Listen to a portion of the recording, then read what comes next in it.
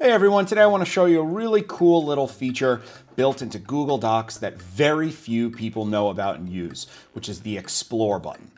So once you've got your Google Doc open, all you need to do to open the Explore tab is to come down to the bottom right corner and click on this little icon that says Explore. Now, I use Google Docs for years without even noticing this was here, but I promise when you find out about its features, you're going to use this regularly. So when I click Explore, I get a search box, and the first thing I do is punch in a search term. So I'm gonna type in puppy, and it searches my Google Drive for any document related to the word puppy, which is great if I want to reference another document in this document. But what's even cooler is I have this link here that says web, which allows me to search the web for anything related to the word puppy. So what that allows me to do is one, I can click on a link and it will open the article in a new tab, or I can grab that link and drag it into my document. What's more is I can actually press these little quotations right here and it will actually cite this article in a footnote in my document automatically. Super cool.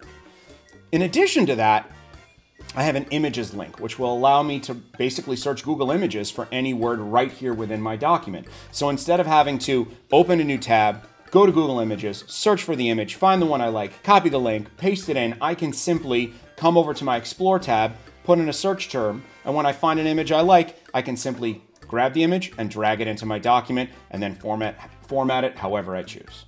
So as you can see, with one click, you have access to the web, Google Images, and any other file that you have saved in Google Drive. So this makes it super easy to add anything from outside of your document to your document simply by clicking and dragging. Now I'm gonna do a bunch of other videos on great tips and tricks for Google Docs and other features of Google Drive, so definitely make sure you hit subscribe and check out my tech tips every weekday at noon, and check out the other great content we release on our YouTube channel. And in addition, make sure you check out the DAE.com to check out our schedule of private lessons and workshops, and I'll look forward to seeing you tomorrow my next tech tip.